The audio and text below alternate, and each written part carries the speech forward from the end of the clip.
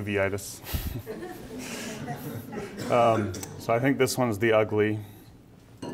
Uh, so this was a 16-year-old girl who was referred by an outside retina specialist here to the Moran seven weeks prior to her presentation here, so when her whole set of issues started. Her left eye was red and swollen, uh, in her and her parents' words. Uh, she had a little bit of pain in that eye and some blurry vision.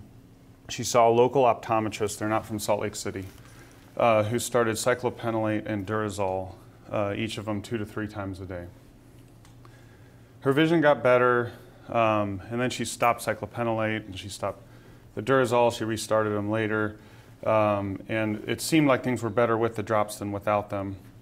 Her parents also were taking her to see a naturopath close to where they live, so she was using colloidal, colloidal silver drops, which they flat out said didn't help, but they did use magnets taped to her forehead, which they think were helping things, so they kept those taped there. Um, they went back to the optometrist who thought that the iris was stuck to the lens. Um, sounded like posterior synechia had formed. Uh, so restarted Durezol and cyclopentolate. The vision remained blurry, but on these drops, the eye was a little less red than it was before. Um, a little bit later, she developed what she described as a milky spot on the inferior iris. And then within a day, the entire front of the eye had become milky. So that was when uh, the naturopath prescribed an herb to bring down the inflammation, but she ultimately um, saw this other doctor who actually referred her down here. Uh, a little bit of other history. She had a cavity filled four months prior to all this. Her maternal grandmother had a history of rheumatoid arthritis, no other rheumatologic conditions we could elicit in their family. Review of systems was entirely negative, other than her actual ocular issues. Uh, and and the fact that the week prior to presentation she had achy shoulders and hands. But that was six weeks after her ocular symptoms started. Uh, she was a junior in high school from Idaho. She's traveled throughout the West, but not really too many other places. She has chickens, cats, and a dog, and no history of drug use, sexual activity, anything like that. So she was actually referred to Dr. Crandall here for an iris tumor, and we saw her the same day. Uh, on examination, she was 20/20 in the right eye and light perception in the left eye. Her pressures were 13 and 9. Uh, pupil um, was 6 and dark and 4 and light. Uh, and we didn't, by the time we saw her, she had already been dilated, so I'm not sure about an APD at that point. Uh, full field in the right eye, can't really even test it in the left eye. And then the right eye was essentially normal on examination, a few pigment changes on the fundus exam, but that's about it. So here's a photograph of the left eye on presentation. Um, I'll go through just a couple of these. There obviously won't be fundus photos of the left eye. Um,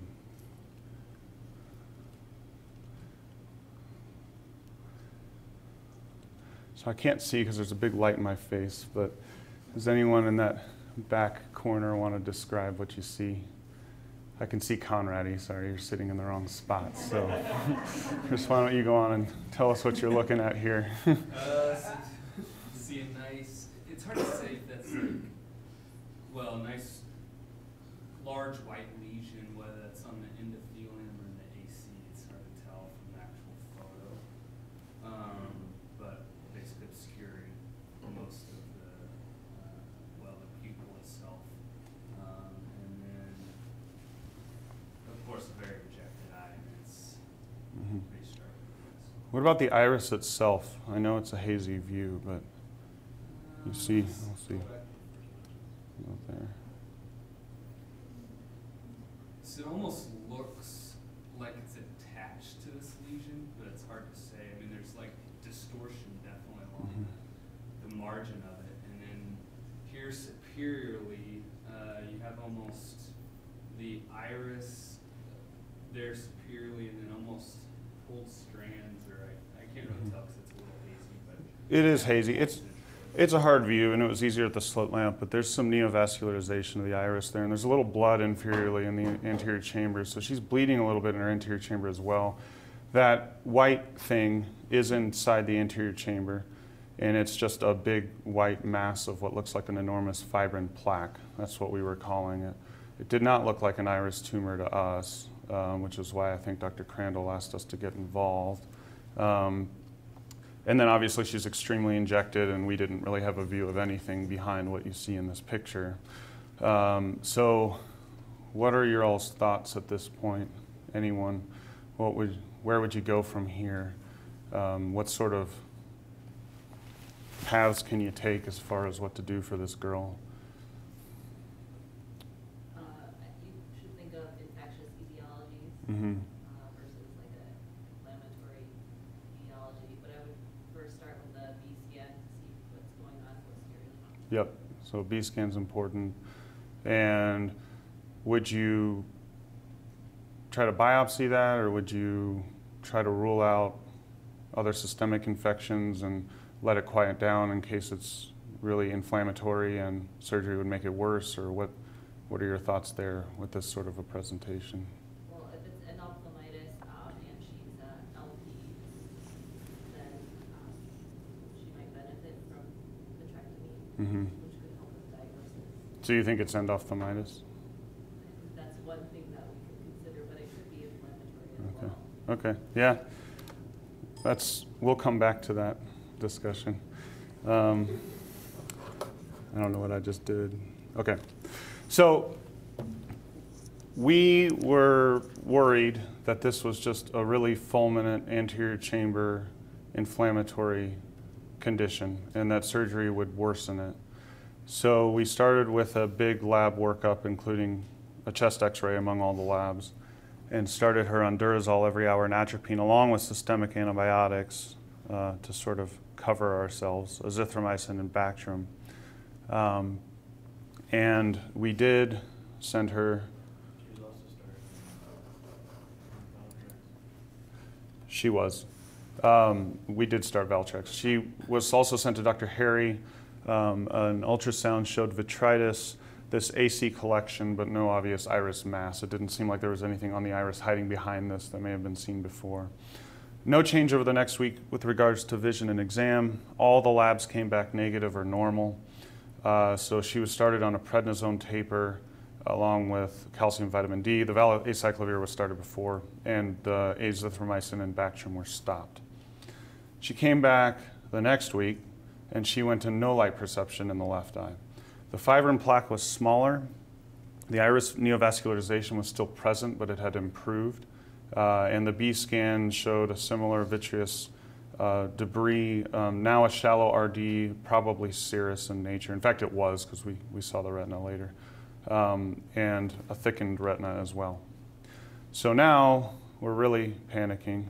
So we stopped prednisone that day, diagnostic vitrectomy that day, um, which was very difficult to pull off socially. Um, her father would not consent to the surgery unless he got the naturopath on the phone, and this naturopath told us it was an okay thing to do. So there were a lot of social currents going on that made this treatment difficult, um, in addition to the disease to begin with. Uh, so vancomycin, ceftazidime, voriconazole, and foscarnet were all injected. Um, the specimen was sent for multiple PCRs and cultures, and it came back with 2 plus listeria, um, also a PCR for Epstein-Barr virus. So listeria is not what we were expecting. Um, so at that point, we got infectious disease involved from primary children. She was admitted for a full workup, including lumbar puncture, blood cultures, and IV antibiotics. Uh, she was continued on the Durezol now that she was being treated with antibiotics. The atropine, neofloxacin were continued. The valacyclovir was stopped. I don't know why this keeps doing that. Um, all of her studies came back negative or normal, so we didn't find any evidence of systemic involvement, although it came from somewhere. She was ultimately sent home on IV ampicillin, uh, switched to oral Bactrim. She got a rash from that, so she was changed to levofloxacin, and she seemed to do well on that as far as systemically. She remained no light perception in that eye. Her right eye remained unaffected. Uh, she developed a shallow AC. She had all these posterior synechia. Her pressure went up to 31 in one visit, but she had no pain. Um, and all the visits after that, her pressure's been back within a normal range, still with no pain. Uh, so, listeria is a gram-positive rod, most commonly found in newborns, the elderly, and pregnant women, but it can be found outside of those demographics. And when it is, It's usually associated with the ingestion of something um, that's not prepared properly, uh, undercooked chicken, hot dogs, things like that. So we went back and asked her once we had our diagnosis, and they drink only unpasteurized milk, which is also a potential source of this infection. So that's likely where this came from, and that wasn't a question that we asked them from the outset because it's not part of what we normally think about. But that's probably the source. Just a couple brief case reports. There's not really a lot out there in the literature on this. There are only case reports. There isn't even a case series of two patients. Uh, so this first one was a 58 year old man with diabetes, came in 2400 in one eye with a high pressure and a fibrinous anterior chamber reaction. Um, started on everything possible to lower his pressure and had an AC tap. Uh, the next day, he was 2070, still had a high pressure. Uh, started on antivirals and topical Pred Forte. The next day, he had a hypopyon and a vitreous cell on B scan, so that's the picture of him on day three. He had a tap and inject with vancomycin and ceftazidime uh, and was started on antibiotic drops as well. Uh, the hypopyon got larger, so he started on prednisone. The culture ultimately grew listeria. So the steroids were stopped. ID got involved. He was given amikacin intravitreally, uh, and he was also started on ampicillin. Then, he, then this turned into a mass, so this is starting to look familiar to our patient. Uh, he had an AC washout performed, and he actually got back to 2020. And he kept getting these recurrences, even though he was on these antibiotics for long periods of time. When they stopped him, all this would come right back. So they'd restart him on antibiotics. And at the time of publication of this paper, they still had him on Bactrim. They were afraid to take him off of it because every time they stopped it, this would come back. Um, he's a bit abnormal in that he ended up 2020. Almost all of these patients that I read about ended up light perception or no light perception. Um, so this, this is not a good prognosis with this bacteria. Uh, there's another one with a 27-year-old man, had had PRK six months earlier, came in, was diagnosed with conjunctivitis, started on tobramycin drops, his vision got worse, uh, and then ultimately um, was hand motion in the right eye, still with normal pressures. At this point, he had a brown hypopyon. That's another thing that's common in these case reports. These patients have these colored hypopyons, usually described as gray or brown. Um, ours had a plaque by the time we saw her, but I don't know what she looked like before. Uh, there was vitreous debris. He had a tap and inject. Uh, the culture showed, and I could hear our service screaming at this point, uh, gram-positive bacilli, but it was thought to be a contaminant, so it was thrown out. Um, so then the clinical course worsened uh, had a repeat vitrectomy, um, and this time it grew listeria. Uh, and so started IV penicillin, but ultimately went to no light perception and developed phthisis. So in the interest of time, I'll, I'll skip the last case report that I have. Essentially, the last one I was going to talk about just showed that this is a systemic disease. That last patient developed meningitis and got really sick. Um, so, uh, a nasty bug that didn't have a good outcome for our patient uh, back at the first decision branch point, you know, when we were worried about inciting worse inflammation in an already extremely inflamed eye, uh, vitrectomy was the right way to go. So I guess I wish Dr. Huang had been in the room at the time. Um, but what are the thoughts on that in the room? Does anyone have any strong opinions? I can't see who's raising their hand, but yeah. I'm just wondering, what's the source of the poor vision of these? Is it retinal necrosis? Is it high pressure without Is there any? I think it's both. People don't seem to really know, uh, but people get all of the above. Um, the common theme in these patients is they develop a horrible anterior chamber reaction that prevents the view to the back. Everybody always ends up getting a B scan that shows inflammation in the back.